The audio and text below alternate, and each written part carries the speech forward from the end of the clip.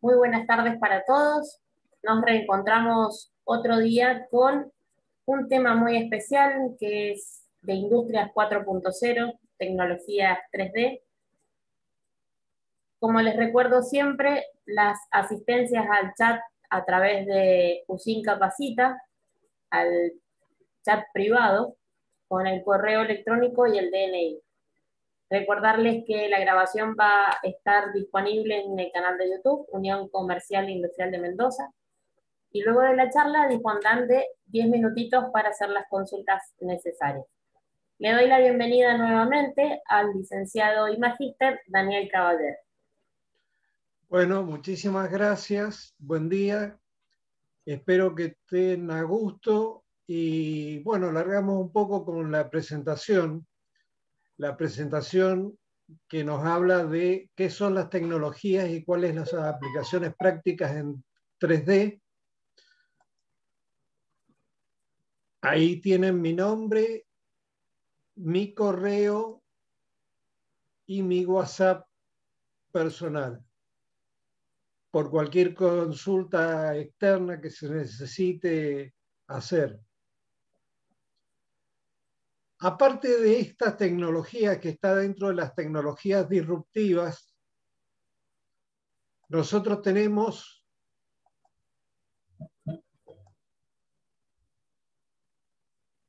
un momento histórico. Ese momento histórico se patentó en 1890 por William Fish Green, un fotógrafo e inventor inglés quien fue responsable de los primeros aparatos cinematográficos en Inglaterra. Años más tarde, Frederick Eugene Ives comenzó a utilizar una cámara con dos lentes de diferente color. Viejas películas en las cuales aparecía la tridimensionalidad o bidimensionalidad, en este caso, y que se fue madurando con el tiempo. Hay una breve historia, ¿no es cierto?, de cómo funciona la tecnología que parece novedosa, pero tiene más de 100 años. La 3D se va a basar en la idea de la esteropsis, o sea, la esteroscopía, y eso significa ni más ni menos que los dos ojos no están a la misma altura. Por ello hay un retardo en cómo, llega una imagen y la otra a un ojo y el otro, y es un fenómeno de percepción visual, de manera que da eh, a nivel cerebral, se recompone como una imagen tridimensional. El caso de las películas, las imágenes son proyectadas en dos capas o también son las gafas las que hacen que un ojo vea qué imagen y esto es muy sencillo si visualizamos los típicos libros 3D rojo y azules. A pesar de que cada ojo ve una imagen diferente y el cerebro recibe ambas, recomponiendo la imagen en nuestro cerebro como si fuese una sola y dándonos la sensación de profundidad, que esta es la parte más coherente del asunto. Ahí ven una imagen en la cual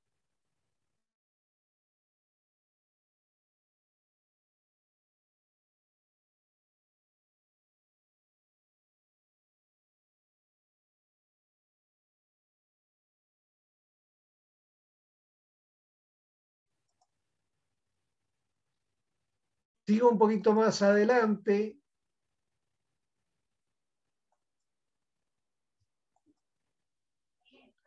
y tenemos los tipos de 3D. En los tipos de 3D es un anaglifo, las gafas rojas y azules.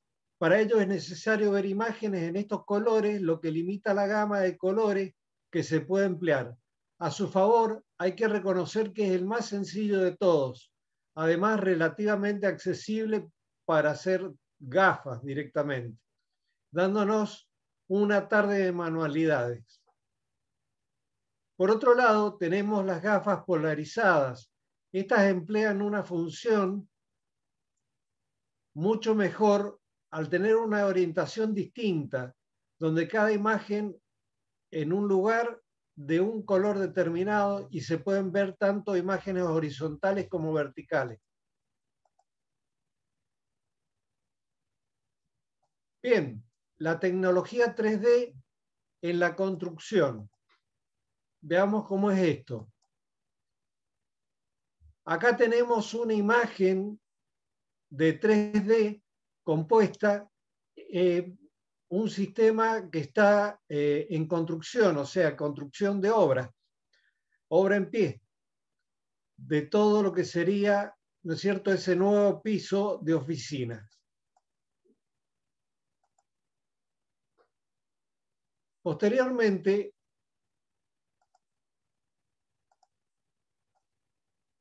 tenemos el escaneo 3D que se adapta a un flujo de trabajo.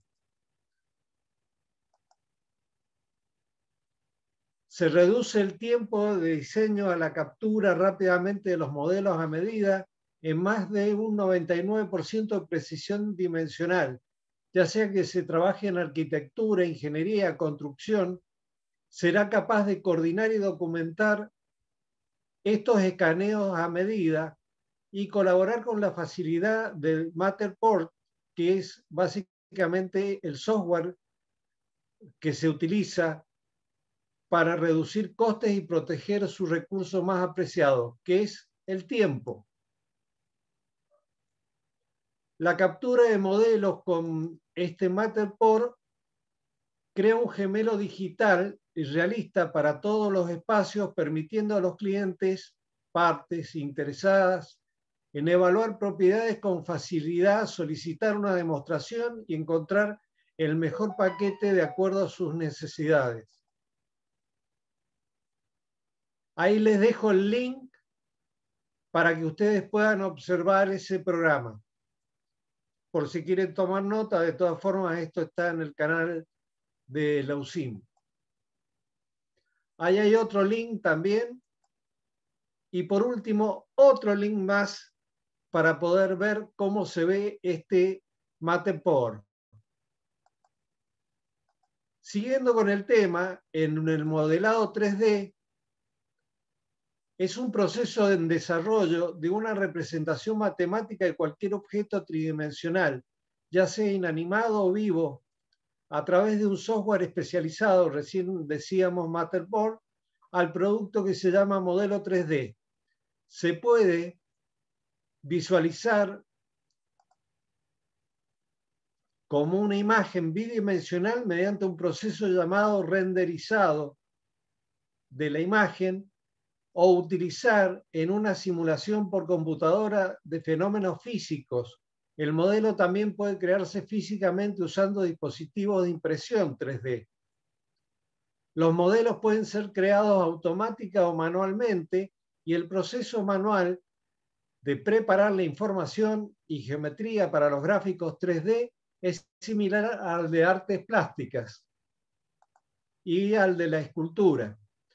El software de modelado en 3D es un tipo de software de gráfico de 3D, utilizado para producir modelos tridimensionales y los programas individualmente de este tipo son llamados aplicaciones de modelado o modeladores. Acá comenzamos a tener los modelos 3D y cómo se representan los mismos conectados con varias entidades geométricas, tales como triángulos, líneas, superficies, etc. Pero los modelos en 3D pueden ser hechos o bien escaneados, como muestra la figura.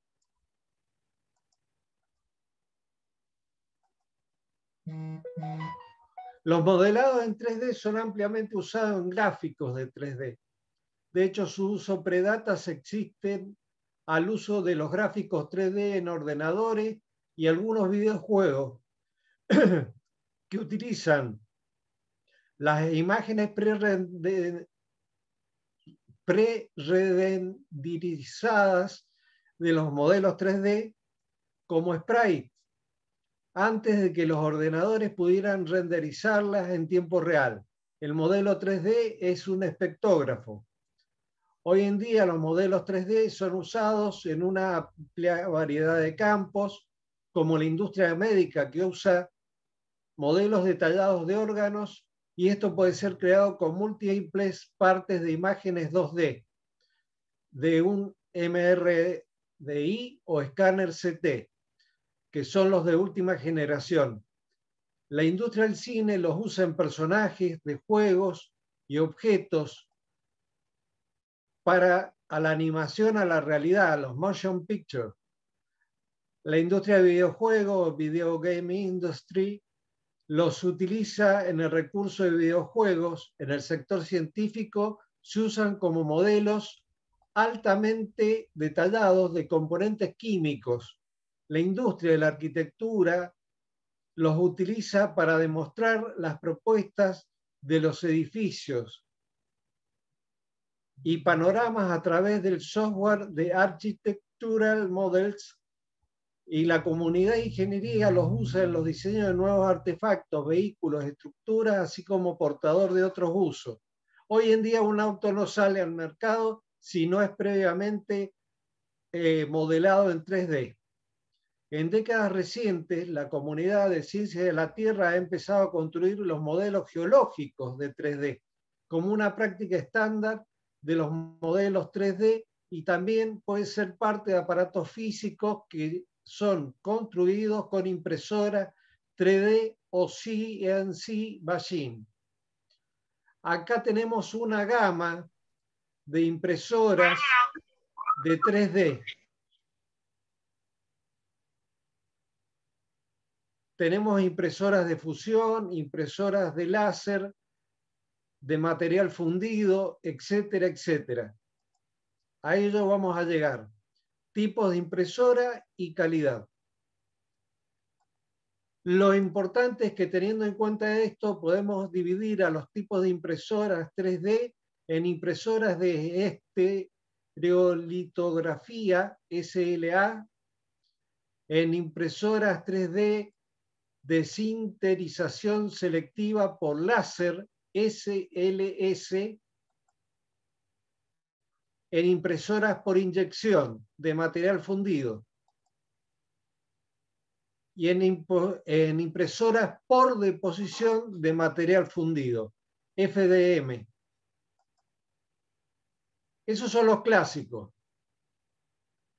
¿Qué es la SLA en impresión 3D? Bien, es básicamente la que refiere a la tecnología también conocida como estereolitografía, proceso en el cual se convierte con un láser una foto un líquido fotopolímero en plástico sólido, capa por capa. Cada capa es diferente y un modelo de 3D se produce sobre una capa perforada en el baño de fotopolímero. Les dejo un link también para que ustedes puedan ahí acceder a un video de YouTube que corre la, la SLA y ahí se van a dar cuenta perfectamente cómo sería esta impresora. Bueno, posteriormente acá vamos a pasar muy rápidamente a un video.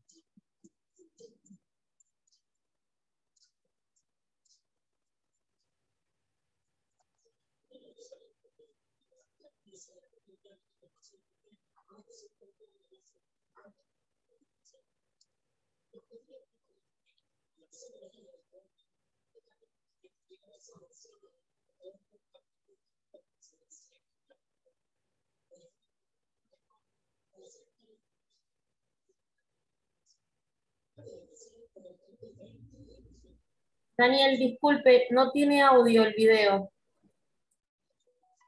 No tiene audio, disculpe.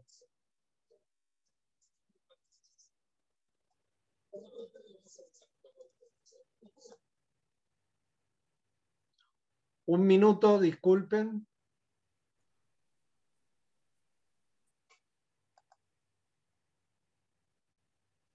Merce.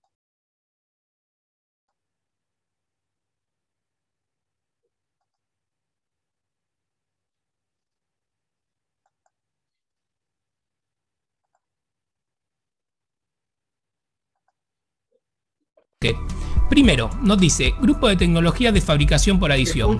Hay una tecnología llamada fabricación de objetos laminados que consiste en, por ejemplo, cortar contornos sobre un papel y después pegar estos contornos uno encima del otro y de esa forma obtener un objeto tridimensional. El hecho de estar cortando me está diciendo que es una tecnología sustractiva, no aditiva, por lo tanto quedaría fuera de esta definición y para mí definitivamente esta tecnología es impresión 3D. Segundo, dice, donde un objeto tridimensional es creado mediante la superposición de capas sucesivas de material. Ahora va a aparecer un video por acá, donde lo que están viendo es una impresora creada para la fabricación de puentes y como se ve claramente en el video no está trabajando por capas. En este otro video lo que vemos es una impresora común de modelado por deposición fundida pero de 5 ejes. La misma, como vemos, está trabajando por capas pero en un momento, ahí cambió, vemos que está trabajando algo parecido como un torno que agrega material. En sí, digamos que si decimos que trabajan por capas, dejaríamos estas dos tecnologías y muchas más fuera de la definición. Veamos ahora la definición que nos da la Wikipedia en inglés, que nos dice algo así como, la impresión 3D es cualquiera de varios procesos en los que el material se une o solidifica bajo el control de una computadora para crear un objeto tridimensional. Esta es una definición mucho más amplia y está de acuerdo con lo que yo entiendo que es impresión 3D. Si bien el término impresión 3D hoy en día es el más utilizado, hay otros dos términos que me gustaría comentarles. Uno es prototipado rápido ya que el primer uso que se le dio a la impresión 3D justamente fue para hacer prototipos. El segundo término es manufactura aditiva, que en contraposición con el anterior se trata de usar las impresoras 3D para fabricar piezas de uso final. En este primer video de tecnología de impresión 3D voy a hablar de aquellas tecnologías que se basan en una batea que está llena de resina con fotopolímero. Así que sin más introducción, comencemos.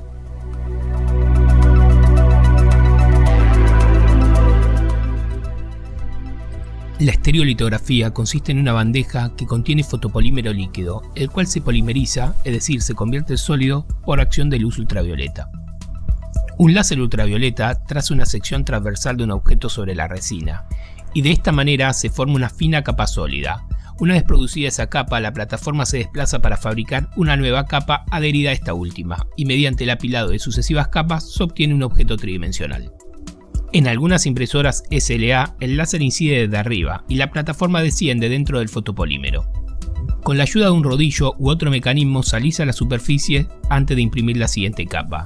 Los espesores típicos de capa van desde 0,05 mm a 0,15 mm.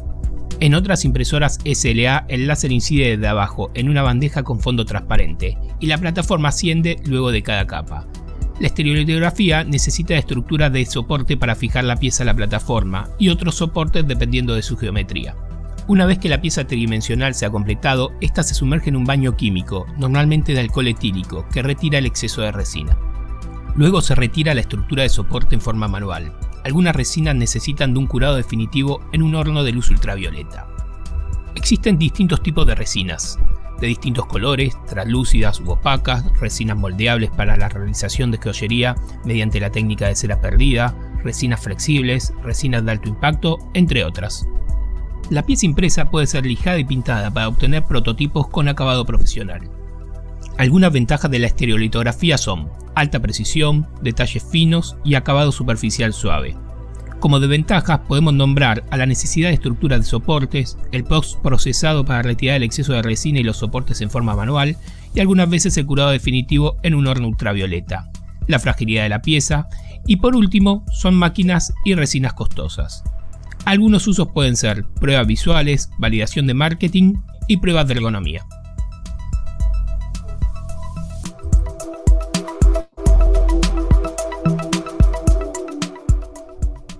El DLP o procesamiento digital de luz es una tecnología muy similar a la estereolitografía, ya que ambas se basan en la solidificación de un fotopolímero expuesto a luz. Pero la diferencia radica en que DLP utiliza un proyector como fuente de luz en vez de un láser. En realidad, el nombre DLP viene de la tecnología de proyectores, desarrollada por Texas Instruments.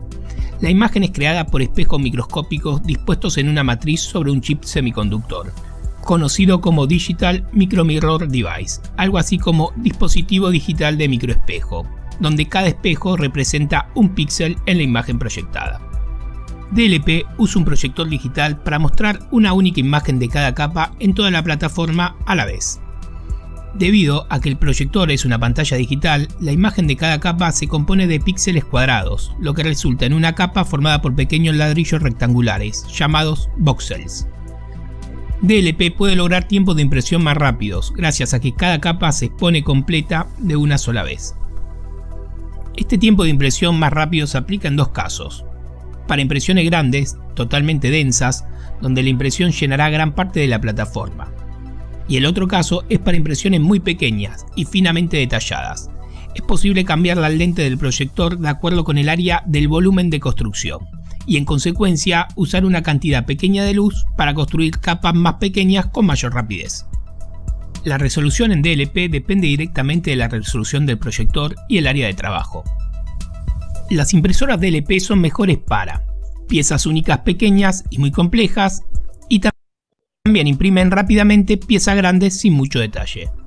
Mientras que las impresoras SLA son mejores para imprimir muchas partes pequeñas e intrincadas a la vez, o una sola de gran tamaño y mucho detalle.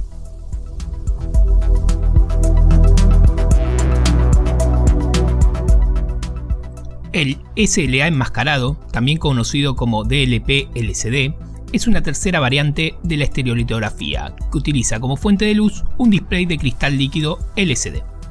MSLA utiliza un conjunto LED como backlight junto con una fotomáscara LCD para dar forma a la imagen. Al igual que en DLP, la fotomáscara LCD se muestra digitalmente y está compuesta por píxeles cuadrados. El tamaño del píxel varía en función de cómo se fabrique la fotomáscara LCD, y los píxeles individuales se desactivan en la pantalla LCD para permitir el paso de la luz LED y así formar la capa resultante.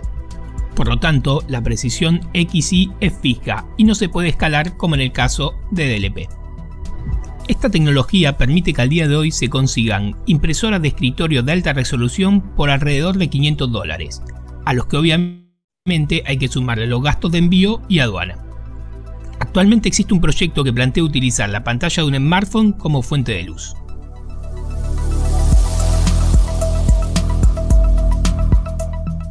La litografía multifotónica también es conocida como litografía láser directa, escritura láser directa o polimerización de dos fotones.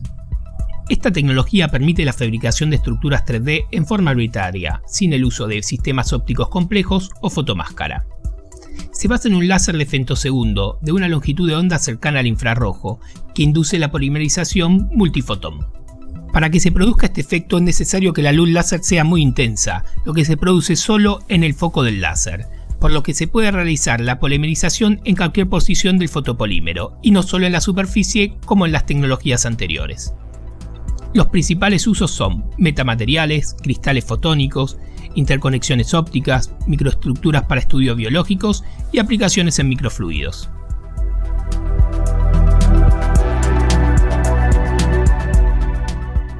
CLIP, sigla que en español significa producción continua de interfaz líquida, es una forma de impresión de procesamiento digital de luz, DLP, ya que se basa en un proyector para emitir luz ultravioleta en una cuba con resina de fotopolímero, endureciendo la resina hasta que se forme un objeto 3D completo. Se diferencia del DLP convencional en que este proceso el fotocurado es muy rápido, proyectando luz a través de una ventana permeable al oxígeno. Esto provoca una zona muerta, de la tercera parte del grosor de un cabello humano, donde el oxígeno actúa como agente inhibidor de la polimerización, impidiendo que la resina se adhiera a la ventana. Clip puede imprimir objetos continuamente sin la necesidad de pausar entre capas y de esta manera mitigar las fuerzas de succión contra la ventana típicamente asociadas al DLP. Las principales ventajas de Clip es que el objeto se fabrica entre 25 a 100 veces más rápido que en el DLP convencional y además al no tener capas proporciona resistencia isotrópica en la pieza impresa, es decir que la resistencia es igual en cualquier dirección. Entre los materiales que se pueden utilizar con esta tecnología podemos nombrar A. Poliuretano rígido, que es muy rígido y resistente, con propiedades que superan al ABS y compiten con el nylon. Poliuretano elastómero, que exhibe un excelente comportamiento elástico bajo carga cíclica de tracción y compresión. Cianato Ester, que se utiliza para alto rendimiento, marcado por una excelente resistencia, rigidez y estabilidad térmica a largo plazo. Antes de despedirme me gustaría hacer algunos comentarios. Hace tiempo que sigo las noticias sobre impresión 3D y siempre surgen cosas nuevas, impresoras más grandes, nuevos materiales y aplicaciones. Algunas noticias sorprenden más y otras menos, pero todavía recuerdo en el 2015 cuando vi la charla TED de Joseph de Simon donde presentó la tecnología Clip. Yo pensaba que estaba todo inventado en lo que respecta al curado de resinas fotosensibles y la verdad que no podía estar más cerrado y me demostró una vez más que la tecnología siempre te sorprende. Otra cosa que me gustaría comentarles es que tengo pensado ir desarrollando otras tecnologías e ir intercalando los videos que faltan sobre impresión 3D hasta completar la serie. No sé qué opinan ustedes al respecto, pero lo invito a dejarlos en los comentarios si prefieren que siga desarrollando los videos de impresión 3D o qué otros temas les gustaría que desarrolle. Ahora sí me despido. Si les gustó el video denle like, no olviden suscribirse al canal y hacer clic en la campanita para que YouTube les notifique cada vez que subo un nuevo video. Muchas gracias por su atención y nos vemos en el próximo video. Ahí abajo está el enlace al video para que ustedes puedan hacer la suscripción y si necesitan reverlo con mayor tiempo y volverlo a rebobinar, etcétera, porque no tiene desperdicio este video. Vamos a seguir Bueno, esto ya fue explicado, ¿no es cierto? Cómo se solidifica la plataforma, cómo desciende nivel por nivel. Así que también fue explicado que es una impresora de FMD por deposición fundida y una cabeza de extrusión también llamada extrusor.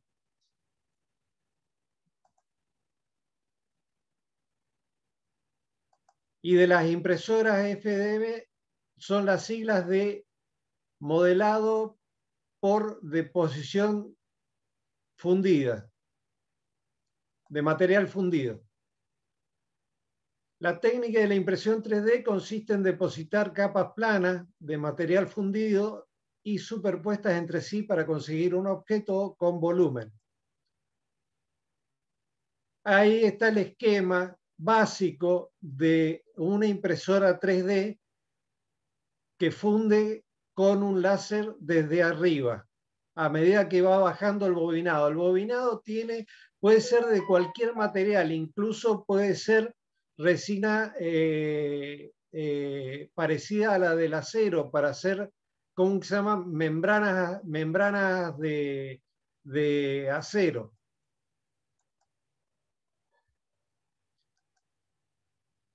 Bueno, ya dijimos esto, ya se expresó en el video, es una de las técnicas más populares y extendidas en el mundo, la de fabricación aditiva y capa por capa, utilizando láser de baja potencia y fotopolimeración. En tanto que la estereolitografía es una de las tres tecnologías principales tanto el modelado por deposición como la sinterización selectiva por láser. Esto todo, ¿no es cierto?, utilizando una pantalla de protector en lugar de un láser. Acá vemos un ejemplo de cómo quedarían los materiales ya. Si ustedes se dan cuenta acá, esto podría ser la carcasa de un celular.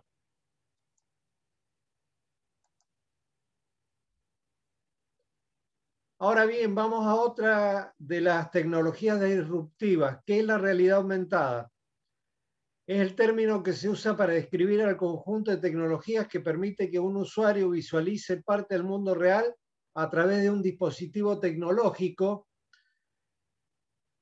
con información gráfica añadida en este. El dispositivo conjunto de dispositivos añaden información virtual a la información física ya existente, es decir, una parte virtual aparece en la realidad y de esta manera los elementos físicos tangibles se combinan con elementos virtuales, creando así una realidad aumentada en tiempo real. Ventajas e inconvenientes. Bueno, como todo, siempre hay ventajas e inconvenientes. Esta tecnología base del 2016 se utiliza mucho en estudios acerca de ventajas y retos que supone en educación. Ahí están las ventajas y desventajas. No voy a describirlas una por una porque son muchas y se ven muy pequeños. Así que voy a pasar a la siguiente diapositiva. Y de la estilografía, ya esto lo habíamos visto, están los pros y los contras. Es un prototipado funcional, la técnica tiene tolerancias y los contras son el proceso de impresión, las pendientes pronunciadas, las resinas son relativamente frágiles. Les aconsejo que vayan tomando notas si pueden en un papel de alguno de estos eh, de alguno de estos de estas palabras claves que estamos eh, viendo.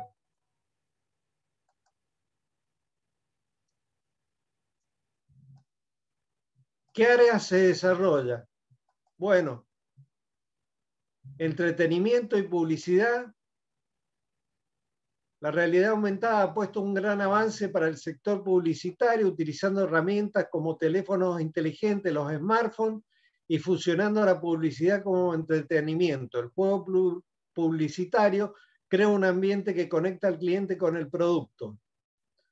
Gastronomía. Existen dos restaurantes en el mundo ya que combinan lo culinario con la tecnología. Uno de ellos que encontramos en España, Sublimotion, y un chef español, Paco Roncero, eh, donde el cliente verá su mesa con todos los platos del menú, previo a solicitarlo. ¿no? Otras áreas son por ejemplo, la de la información, el RA puede mejorar la eficacia de los dispositivos de navegación para varias aplicaciones. Del mismo modo, los parabrisas de los automóviles pueden ser usados como pantalla de visualización para promocionar indicaciones de navegación e información de tráfico y no tener que mirar un celular. Turismo. Muchos turistas viajan por un móvil o tableta con sus manos, pudiendo abrirle el mundo a nuevas posibilidades a la hora de conocer lugares. Tienen a, través de la geolocalización, épocas históricas y pueden eh, moverse, ¿no es cierto?, con tecnologías de GPS y, localización, como por ejemplo a través de Air Google, etc.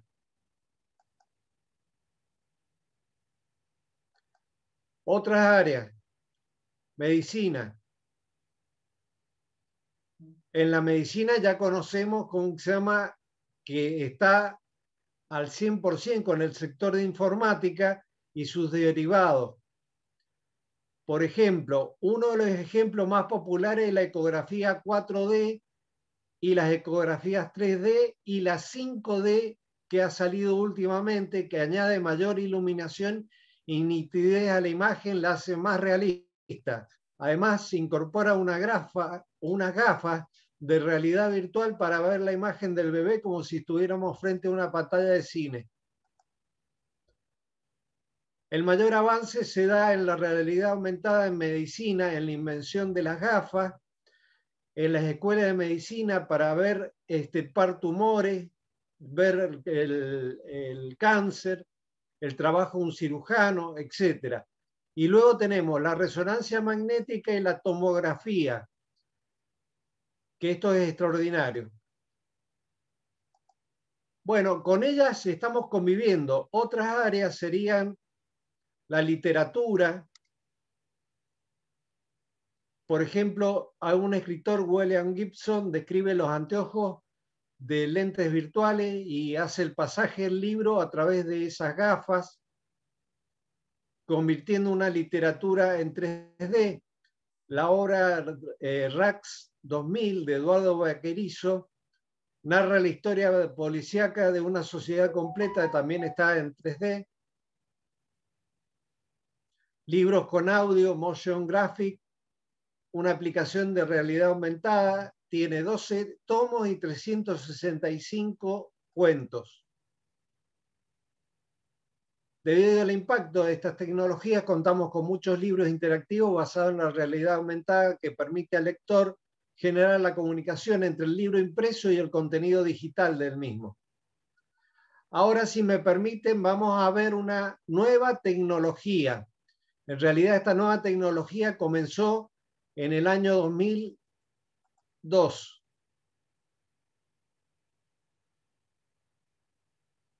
Vemos dos cámaras Nintendo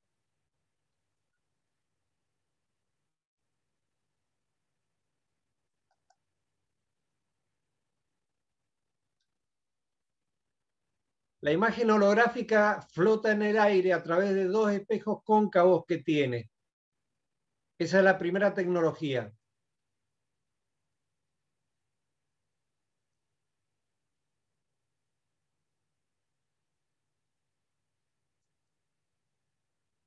La segunda tecnología es que es incorpóreo. Lo demuestra así la imagen. A través de que queremos agarrarla, tocarla, no existe eso pero es un holograma. El hand tracking muestra cómo puede rebotar eso a través de dos cámaras Wi-Fi.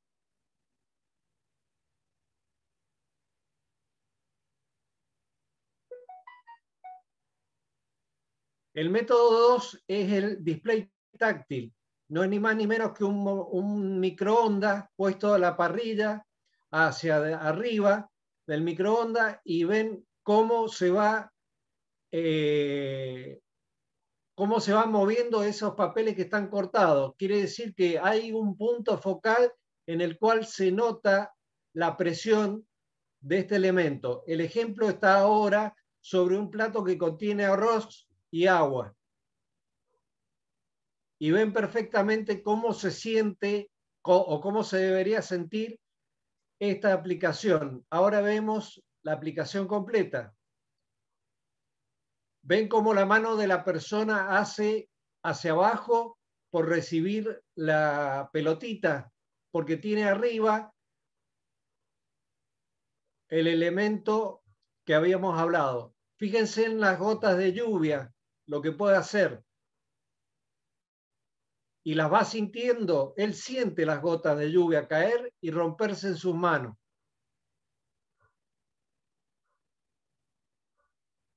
Esto que pareció extraordinario fue presentado por tres ingenieros de Japón como tesis final de su eh, trabajo de ingeniería.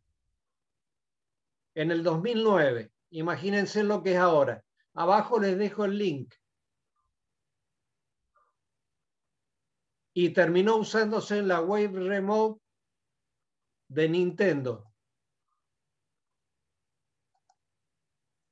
Bien, ahora vemos cómo se ve, ¿no es cierto?, cuando vamos a visitar un departamento, que es la realidad aumentada. La manera de alquilar o comprar una casa ha cambiado. Atrás queda buscar y comparar en multitud de sitios para dar paso a una nueva manera de buscar piso. Ahora con un solo gesto y gracias a la primera app bancaria que utiliza la realidad aumentada para encontrar piso, es posible conocer todos los detalles de la vivienda que te gusta. Gabriel González es responsable de producto digital de BBVA. Lo que tú puedes hacer es puedes escanear en, directo con la cámara del móvil, solamente sacas el móvil y enfocas y te identifica todos los pisos que están en venta o en alquiler.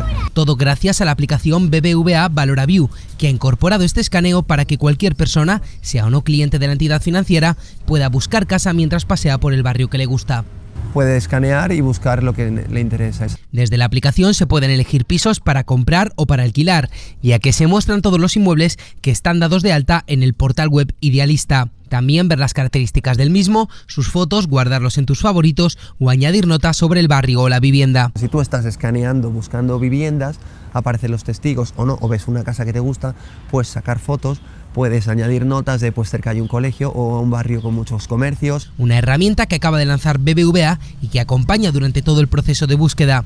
Permite simular la cuota de una posible hipoteca para el piso elegido e incluso solicitarla desde la propia aplicación, haciendo más sencillo el proceso y aconsejando sobre los precios de la zona.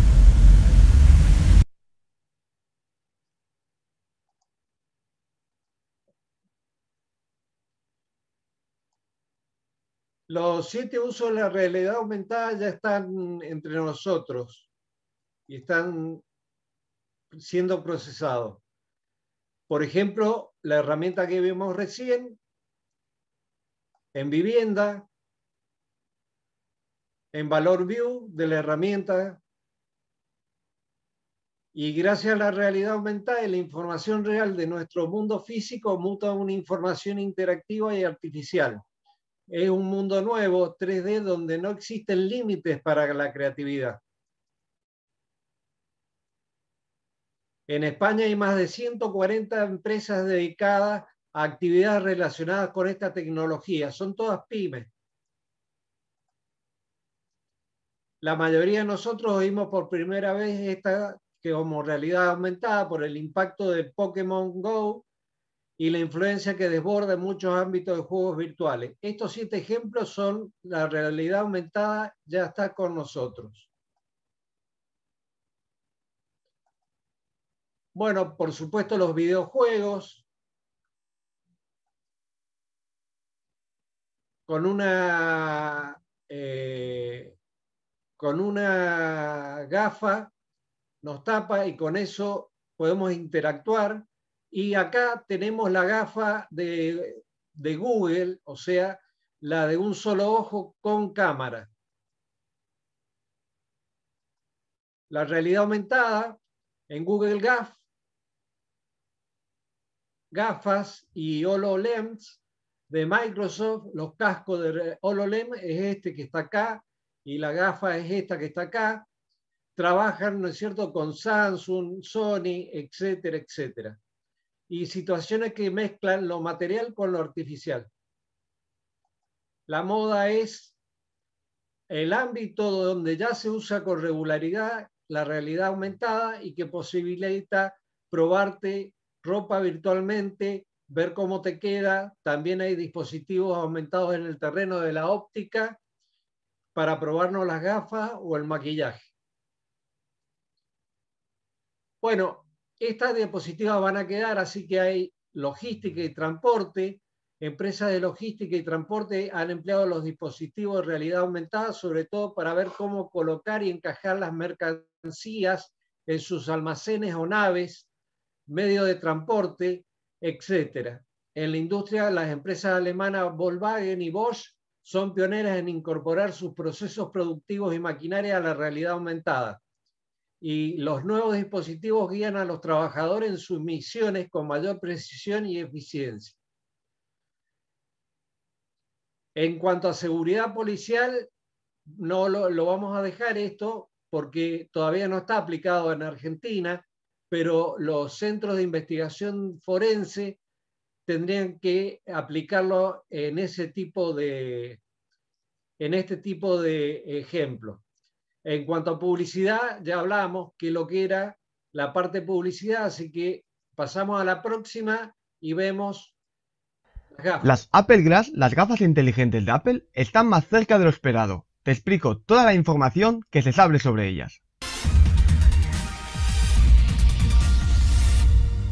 Si eres un aficionado a las nuevas tecnologías, habrás visto en muchos canales de YouTube y medios especializados que han hablado del nuevo gadget de los creadores del iPhone, las Apple Glass. Llevo tiempo hablando de este dispositivo aquí en el canal de YouTube y también en la página web, así que si no me conocías y te has topado con mi vídeo, espero que esta información que hoy voy a darte te sea útil y que al final de él puedas suscribirte a mi canal para seguir creciendo y traer más vídeos relacionados al mundo de las gafas inteligentes, realidad aumentada y virtual. Así que sin más, veamos qué información nueva tenemos de las gafas inteligentes de Apple. Well, how about uh, Apple's AR glasses, huh?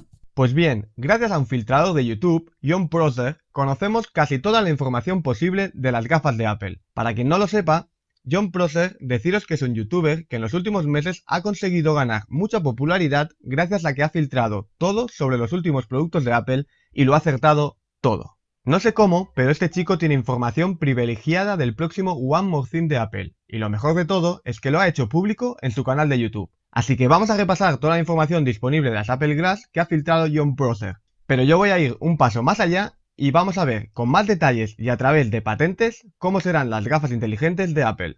¿Qué precio tendrán? Las Apple Glass tendrán un precio de 499 dólares a los que hay que sumar el coste de la graduación de los cristales. Así pues, podríamos hablar que su precio aumentaría hacia los 700 y 1000 dólares, un precio que va en la línea de los dispositivos de Apple. Podéis pensar que es un dispositivo caro, pero como bien sabéis, Apple tiene unos precios de una marca premium y sus gafas inteligentes, por supuesto, también lo serán. ¿Cómo funcionarán las gafas inteligentes de Apple? Todavía es pronto para descubrir realmente cómo funcionarán. Lo que está claro es que las gafas no llevarán su propia GPU como las Google Glass al menos en esta primera versión. Todo el procesado y encargado de mover lo que después se proyectará en las pantallas de las lentes de Apple lo hará el iPhone. Esto es algo parecido a lo que pasó en su día con la primera generación del Apple Watch. Lo que está por ver es si las gafas irán conectadas al iPhone vía cable o vía conexión inalámbrica desarrollada por los chicos de Cupertino. Si la conexión es por cable, me viene a la cabeza que el funcionamiento de las gafas inteligentes de Apple será similar a la de las Smart Glasses de realidad aumentada del fabricante Enreal Light, las Light Glasses. Si no las conocéis, os animo a que veáis el vídeo que realicé en su día.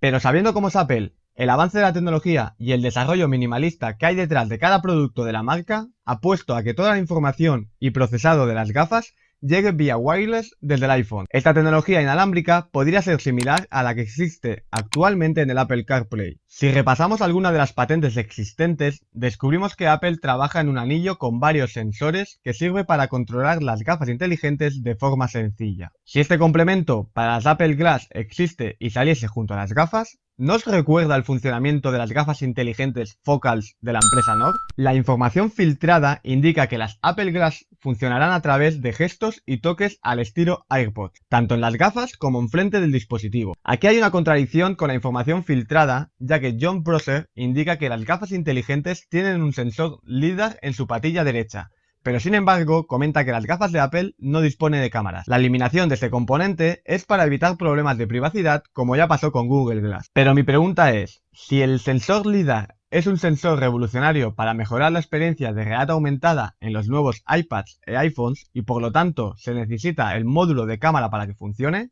¿por qué no va a incluir cámaras? Así que entiendo que la versión final incorporará finalmente al menos una cámara. La proyección de las imágenes superpuestas a nuestra realidad se hará directamente en los cristales de las gafas y por lo tanto será una proyección binocular. Siguiendo con las filtraciones, se ha filtrado Gobi, que es una aplicación de realidad aumentada que Apple ha desarrollado y que comenzará a existir a partir de iOS 14. Esta aplicación es capaz de leer códigos QR diseñados por Apple y otras empresas para representar tridimensionalmente en realidad aumentada. Esta aplicación podría ser útil en las Apple Glass, aunque todavía no se sabe muy bien cómo funciona. Siguiendo un poco con el funcionamiento de las Apple Glass, vemos que su interfaz se llama Starboard, y tal y como ocurre con el Apple Watch, que tiene su propio sistema operativo, el Watch OS, las gafas inteligentes de Apple también tendrán su propio sistema operativo. Lo que sabemos de él es que lo llaman ROS y por supuesto tendrá compatibilidad con los controles de voz mediante el asistente artificial Siri,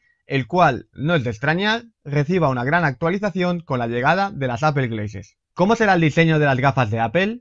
Bueno, viniendo de Apple ya sabemos que la marca es especialista en traer dispositivos minimalistas y premium, por lo que las gafas inteligentes no van a ser menos. El prototipo al que ha tenido acceso el filtrador es de plástico, pero lógicamente ese material cambiará en su versión final. Lo que sí que ha dejado claro Ploser es que las gafas tienen un aspecto de unas gafas normales. Se desconoce si solo llegará un modelo en concreto o este será personalizable con posibilidad de cambiar los colores de la montura, por poner un ejemplo. Por otro lado, las gafas no disponen de lentes para el sol, debido a que en los prototipos y pruebas iniciales Apple ha tenido problemas con el funcionamiento de sus gafas inteligentes, aunque no se descarta que en su lanzamiento hayan solucionado estos problemas y exista una versión compatible con los rayos de sol. Aunque no conocemos muchas características de las Apple Glass, sí sabemos que su batería será inalámbrica a través de una funda cargador, algo que estamos acostumbrados a ver en los auriculares sin cables o en otras gafas inteligentes como espectáculos de Snapchat. ¿Cuándo se presentan y cuándo saldrán a la venta las Apple Glass? Todo indica que será antes de finalizar el año siempre y cuando la situación del virus COVID-19 mejore.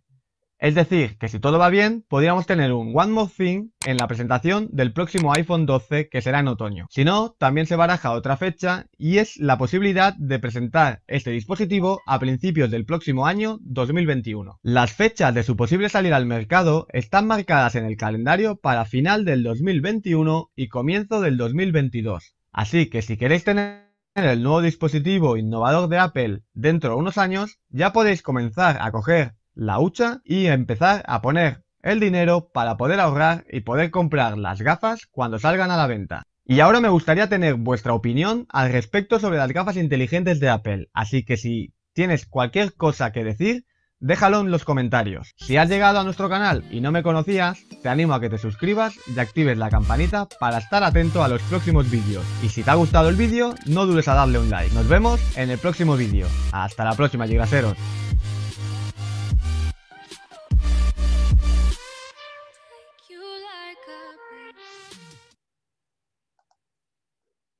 Las Apple Glass, las gafas inteligentes de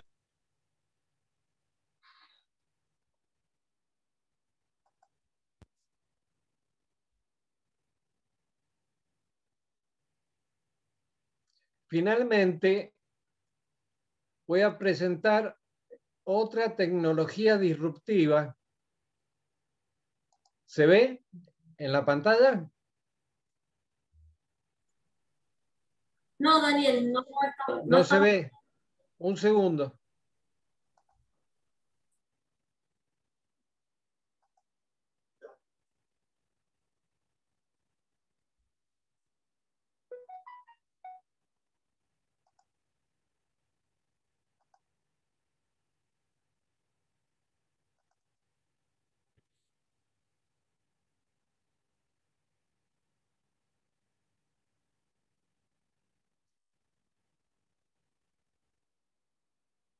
Ahora se ve.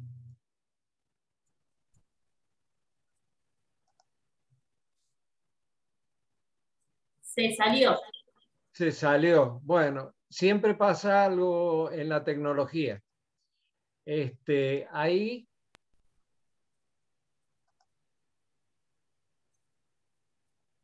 ¿Se alcanza a ver? Ahí se está compartiendo. Ah, perfecto, muy bien. Bueno, eh, esto lo voy a pasar muy rápidamente les voy a decir algo nuevo.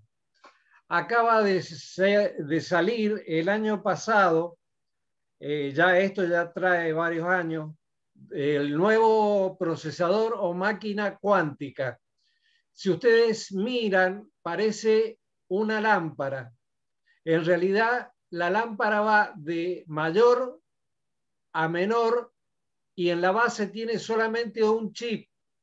Y este procesamiento es, o sea, las bases de la lámpara, cada una de esas etapas es para poder enfriarlo a 2,5 grados Kelvin por la velocidad en la que tiene que procesar en cuántica. Y tiene un microprocesador que tiene un quantum, o sea que está movido por un electrón, o sea, un quantum eh, girando alrededor del electrón en forma positiva o negativa. Quería presentarles eso y si me permiten, una última cosa más. Bueno, esto se quedó pegado. Las Apple Glass, las gafas inteligentes de Apple, están más cerca de lo esperado.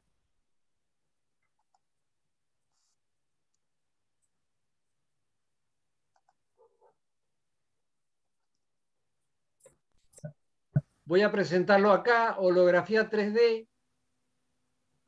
Este es mi público.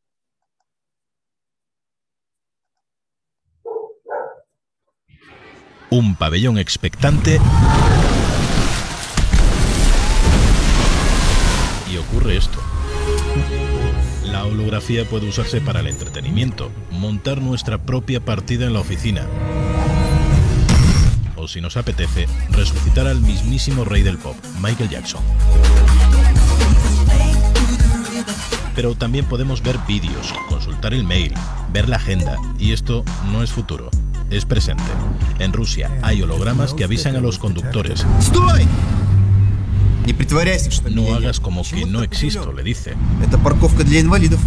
les enseñan a respetar las señales de minusválidos en los aparcamientos. Hay hologramas de nuestros órganos para aplicaciones médicas. Manejar un corazón con nuestras manos y ver en su interior ya es posible. Como por ejemplo un dentista o un médico eh, podría hacer una visita virtual dentro de un diente o de cualquier órgano del cuerpo.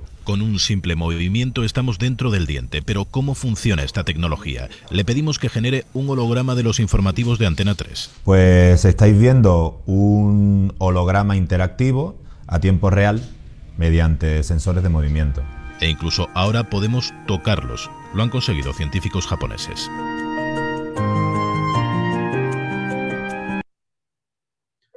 Bien, eso era importante para mí presentarles y ahora, si son tan amables, eh, por favor con su celular, escaneen esta sección de acá y elijan alguno de los cuatro ítems que están acá.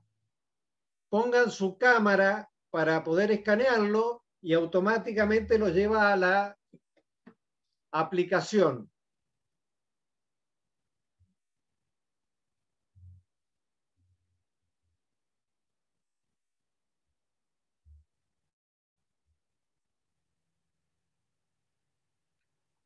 Escaneen el código Q. Abran la página.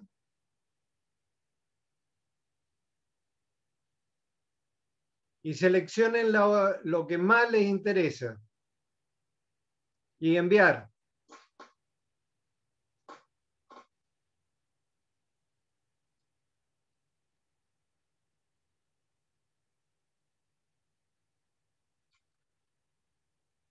Mientras van haciendo ese, otros pueden hacer este que está acá.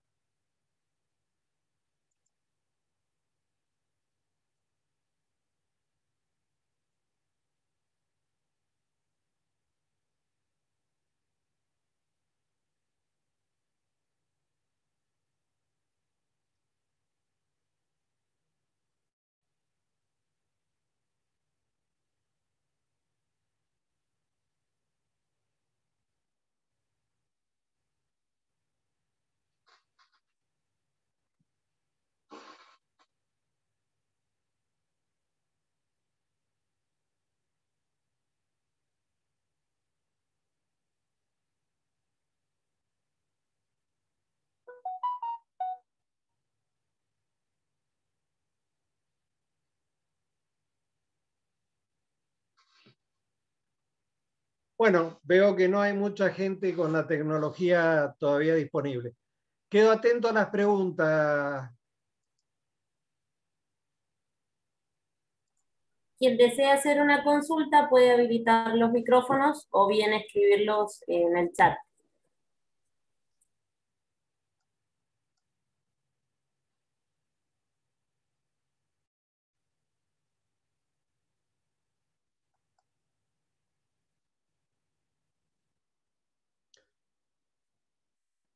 No sé por qué no tengo acceso al chat. Eh,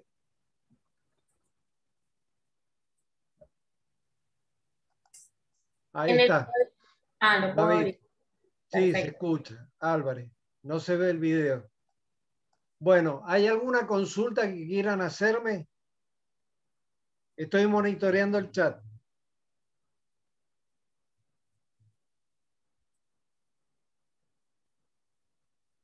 Parece que no hay consultas. Parece que no hay consultas. Bueno, espero que les haya gustado. Y los esperamos en los cinco, las próximas capacitaciones que estarán a cargo de Fernando Esbercé, Cristian Yubró y demás gente del equipo de Ciencias Económicas. Bien, ahí entraron un par de mensajes. Muchas gracias por la charla. Ha sido muy interesante, muy bueno. Así que le doy las gracias, Daniel, por la presentación. Es un placer volver a escucharlo. Muchísimas gracias y nos vemos pronto, si Dios quiere. Muchísimas gracias a usted y a todos los que participaron por haber aguantado la, la charla hasta el final. Gracias. Bien, que tengan todos buenas tardes. Nos vemos mañana en otro webinar.